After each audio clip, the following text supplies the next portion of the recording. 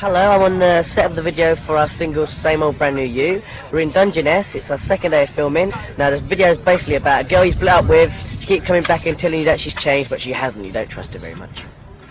Uh, my role in the video is I'm, I'm like a grubby mechanic bloke. And um, there's also a really hot girl in the video, but none of us get to snog her. There's a bad guy in the video, he's the baddie, and he's like flirting with her and stuff, so that should be some hot on-screen action there.